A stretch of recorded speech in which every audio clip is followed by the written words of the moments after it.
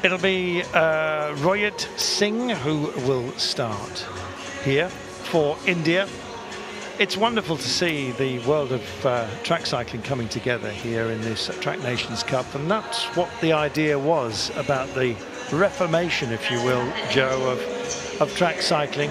Um, a lot of complaints uh, from some quarters that it was it was blanketing the uh, um, uh, the, the road season, and so it, it there would be a diminution in in terms of um, uh, some of the quality of riders, but.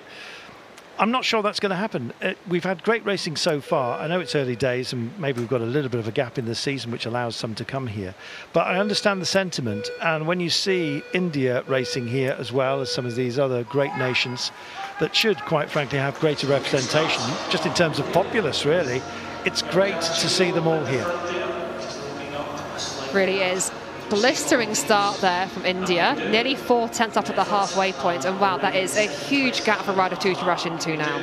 It is a bit. I'm not quite sure whether uh, Singh had, had marshalled that, but let's see. At the moment, they are powering down the back straight, and it is David Elka to Chongo who is going for this. It'll be uh, Laitonjam who will indeed light up the afterburners at the very end of this phase. Just goes a little bit high through the banking, but uh, marshals it well. Good control of the bike.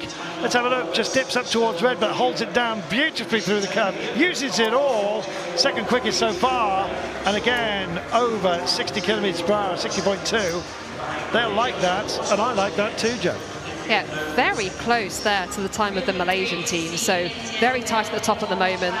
17.9 uh, opening lap, so that was our second fastest opener. Just breaking that 18 second barrier is always good to see.